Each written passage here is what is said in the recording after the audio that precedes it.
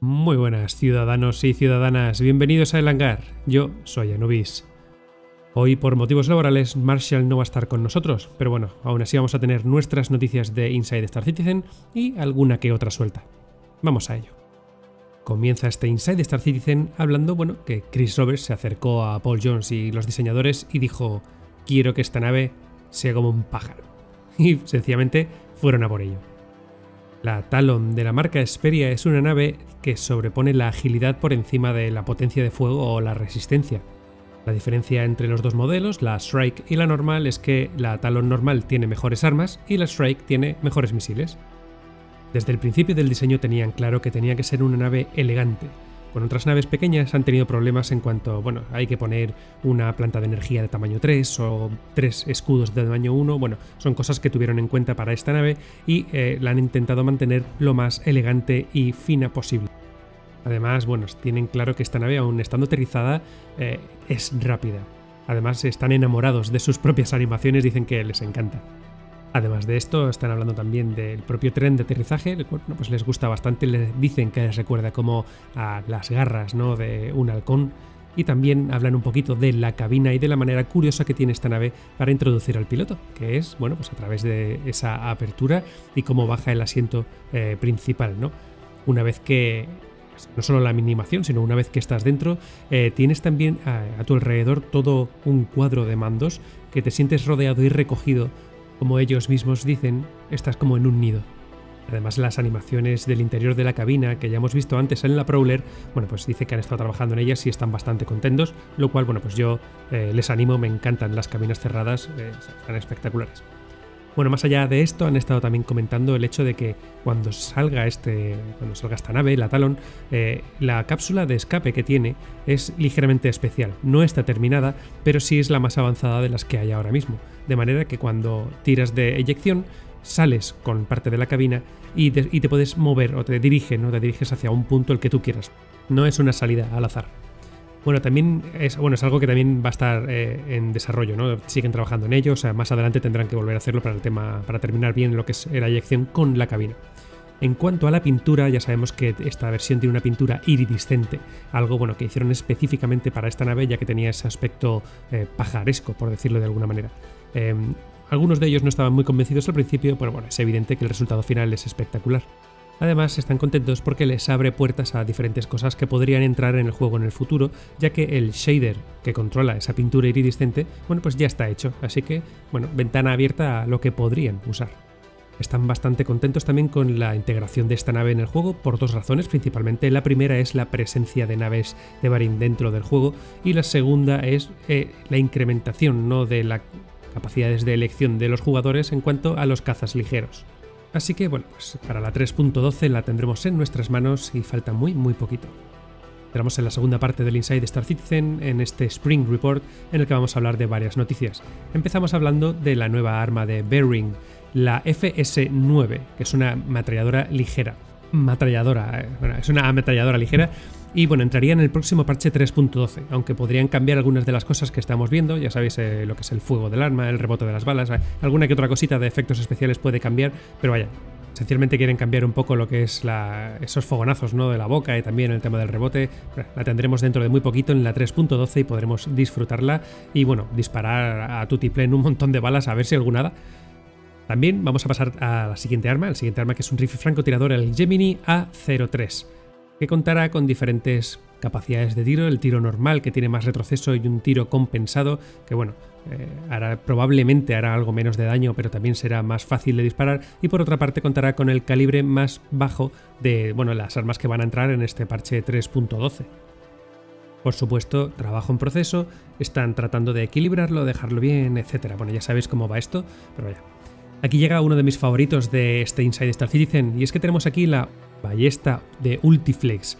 Bueno, este sería el primer pase ¿no? artístico de este arma, que sería un arma para mantener el perfil bajo, para que no se nos escuche, para no dejar fogonazos y para asaltar, bueno, y hacer bastante daño a nuestros enemigos de una manera silenciosa y terrible.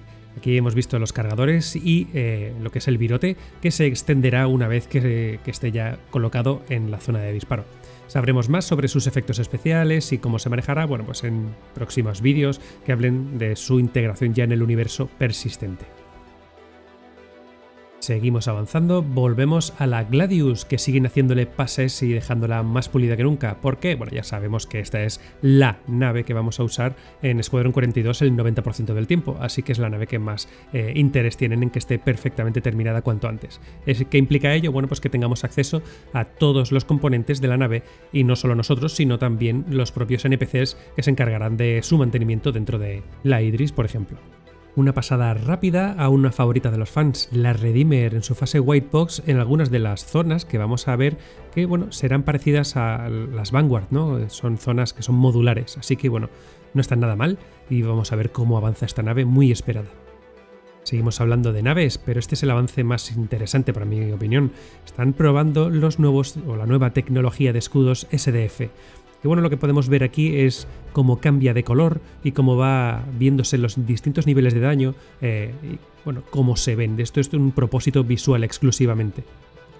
La realidad es que los escudos de las naves capitales van a ser bastante poderosos. Entonces la idea es, bueno, saber cómo es, cuánto daño estamos haciendo, saber cuándo estamos haciendo daño. De ahí que estén investigando los diferentes colores que se aplicarían ¿no? a lo que es la barrera y para que el propio jugador sepa cuándo, ¿no? qué, cantidad de daño está provocando a una nave capital. Aquí podemos ver también algunas de las diferentes opciones que están probando en cuanto al impacto dentro de, la nave. Todo esto, por supuesto, es trabajo en proceso y eh, es algo que, están probando, sencillamente. Están viendo cómo lo vamos a ver nosotros, cómo va a efectuarse ese daño, qué efectos especiales le van a añadir, si eso sobrecargaría mucho o no. De hecho, están probando varios patrones. Aquí podemos ver uno hecho de hexágonos, que ya sabéis que los hexágonos molan. Y todo lo que lleve hexágonos es más sci-fi, más ciencia ficción. Así que, hexágono. Y por último, bueno, pues eh, nos comentan que qué colores al final van a usar, cómo lo van a hacer. Bueno, pues sencillamente nos lo dejan en el aire y ya lo veremos cuando esté más actualizado. Bueno, pues bien, perfecto. Seguimos avanzando y el equipo de ambiente, bueno, está trabajando en traer de nuevo al juego cosas que habíamos perdido. Tras la actualización a la última tecnología planetaria que incluía diferentes cosas como el shader orgánico, eh, las diferentes texturas dependiendo de las alturas y la temperatura, etc. Bueno, pues todo eso hizo que algunas de las piezas que ya estaban creadas, como por ejemplo los, las naves estrelladas, no encajaran bien. De manera que, bueno, en este último parche van a volver a traer algunos de los biomas, algunas de las naves y algunas de las cosas que ya estaban en el juego, pero que tuvieron que desaparecer por culpa de esta tecnología V4 planetaria. En cualquier cosa, se han esforzado por traer cosas nuevas. Hay nuevos assets que se incluirán en el juego, aunque no nos han dicho mucho más allá que van a meter nuevas rocas. Pero bueno, en cualquier caso podemos ver eh, en estas imágenes ¿no? que hay algunas mejoras y hay algunas cosas que no teníamos antes. Así que bueno, pues perfecto porque bueno, este equipo siempre hace un trabajo espectacular y tenemos unos espacios abiertos impresionantes. Solo falta rellenarlos. Seguimos avanzando y el equipo planetario está trabajando en la flotabilidad de algunas piezas lo cual, bueno, pues va a abrir el gameplay infinito ¿no? dentro de cualquier superficie planetaria eh, para poder introducir ya no solo icebergs como estamos viendo o eh, naves estrelladas, etcétera. En cualquier caso, eh, visualmente, esta es una prueba técnica, no es una prueba visual, o sea, este evidentemente no es el trabajo final. Pero como comentaba, este, esto abre un nuevo abanico de posibilidades. Además que, bueno, si habéis jugado a la saga Mass Effect, también hay una zona que, comparte ¿no? estas características y mola mogollón en uno de sus DLCs. Y aquí, bueno, pues aprovechan para meternos parte de las pruebas, que bueno, puede ser más o menos gracioso. Eh, ahí está. Seguimos avanzando y podemos ver aquí el avance en las pruebas que están haciendo para dejar el rastro, ¿no? A través de la hierba o doblar la hierba y la hierba y cualquier otro objeto, ¿no? Que haya eh, natural, pues mientras pasamos sobre él. Estas pruebas, bueno, pues indican en general que está bastante bien, pueden conseguirlo perfectamente. Lo que están trabajando es ahora mismo en que cuando pasas por encima de esa hierba y la doblas, no vuelva a su forma original de una manera tan rápida. ¿Por qué? Bueno, porque la idea es que podamos seguir a una persona o a un animal para cazarlo, por ejemplo, y seamos capaces de ver su rastro, lo cual está muy bien. Bien, para el año que viene tienen planteado trabajar los distintos niveles de distancia. Ya sabéis que bueno, esto seguir un rastro puede estar muy bien y verse a distancia corta, pero también tiene que poder verse a distancia larga. Ya sabéis que los estándares de calidad de estas licencias son muy altos, bueno, pues en eso van a trabajar. Y por último, pero no menos importante, vamos a ver el interior de las nuevas bueno, estructuras eh, de habitabilidad en los planetas. Eh, como ya sabéis, esto son pruebas, esto no es nada definitivo. Y bueno, estamos viendo esas fases white box, ¿no? Para medir la, métrica, ¿no? Y para saber más o menos cómo iría la cosa. Lo que estamos viendo ahora mismo podría ser pues un módulo comunal, ¿no? Que podría ser un salón, una cocina, algo donde el pueblo, la gente que vive allí, bueno, pues pase su tiempo. También están trabajando en diferentes eh, capacidades ¿no? que tengan las estructuras, como por ejemplo poder bajar unas persianas metálicas o unas persianas de defensa, sobre todo pensando bueno, pues para las inclemencias del tiempo. Y también en la ampliación ya no solo a un solo nivel, sino la verticalidad de estas estructuras, donde bueno, pues podríamos acceder a otras partes de, ellas, precisamente bueno, pues para hacer más misiones o para cualquier cosa que, se necesite ¿no? en la zona. Por último, nos recuerdan que evidentemente esto es eh, no está ni siquiera en producción. Estos son pruebas que están haciendo para ver cómo irían. Pero bueno, abre todo un abanico de posibilidades a todas las construcciones que encontraremos en Star Citizen. Con esto amigos hemos terminado lo que es la parte del Inside Star Citizen. Eh, vamos a hablar ahora de las 3-4 noticias sueltas que hay por ahí y con esto ya vamos a ir terminando.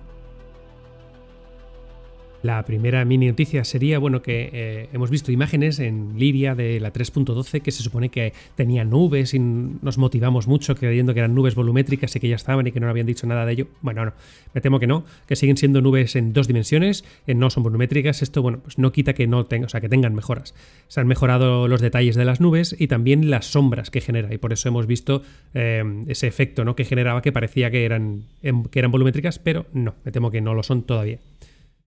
La siguiente mini noticia es que, bueno, eh, para esta 3.12 algo que no se ha comentado mucho es que los motores de las naves podrían crear volúmenes de viento y estos interactúan ¿no? con el entorno, lo que significa pues no solo que al aterrizar te puedas levantar polvo o mover cosas o eh, telas, o, pero también podrían mover objetos y jugadores, lo cual, bueno, pues le añadiría una calidad al juego bastante, bastante alta, molaría bastante. Después, por otra parte, parece que se van a poner las pilas con la realidad virtual, con el VR, ya que están contratando a gente que tenga experiencia en el desarrollo de, esta, de, esta ¿no? de lo que es la realidad virtual. Lo cual, bueno, pues es bastante interesante porque es algo que, siempre estamos todos deseando ponernos un casquito y meternos dentro de una cabina eh, de lleno. Y por último, ultimísimo, la 3.12, al menos para la primera oleada del reino de pruebas, está a puntísimo de llegar, pero vaya, falta nada han tenido algunos problemas, eh, eh, tanto ayer como hoy han estado intentando eh, poner esos parches ¿no? para que la primera oleada entre in-game, o dentro del reino de universo de pruebas, pero bueno, que ahí están liados y todavía no, pero vaya, falta nada, falta muy poquito. Y con esto hemos terminado chicos, gracias por haber estado ahí, espero que os haya gustado el vídeo, ya sabéis que si ha sido así, like, comentario, suscribiros si no estáis suscritos y por supuesto muchísimas gracias a nuestros miembros del canal que como de costumbre, bueno pues nos dais la vida, incluyendo a los nuevos miembros, el Tunas y Pretorcid. Chicos, nos vemos en el universo. Chao.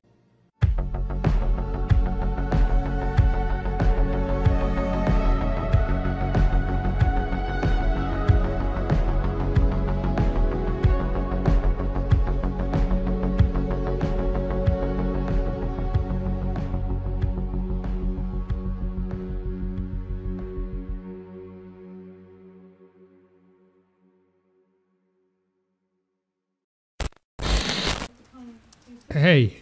¡Qué sorpresa! Eh, estamos online y no lo sabía. Bueno, pues voy a, voy a empezar a enseñaros cómo edito. Em, pues en verdad no tengo ni idea de cómo se edita. Me gustan los cuellos. Haré, haré algo con ellos. Pues eso, cojo un cuello.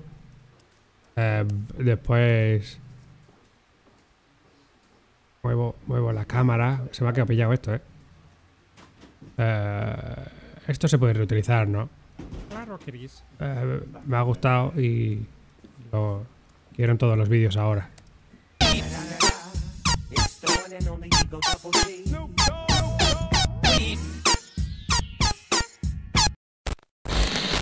Pues lo he clavado, ¿eh? Me ha quedado genial. Lo quiero aquí y en todos los vídeos. Ha sido espectacular. Qué bueno soy, ¿eh? Es que soy el jefe. Eh, si no fuera porque estoy forrado, me suicidaba yo mismo. Qué horror.